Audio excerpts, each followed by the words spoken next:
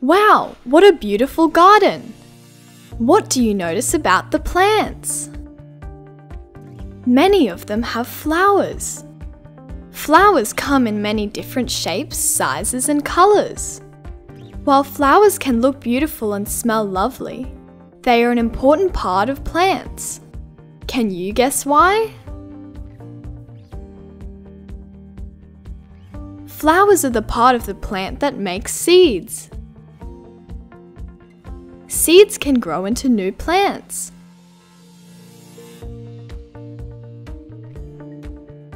Some flowers need the help of insects and small animals to produce seeds.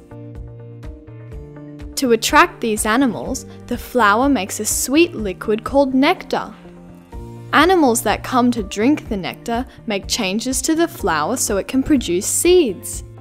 Isn't that cool? I'm not very good at making flower jokes, but this'll do. See you next time!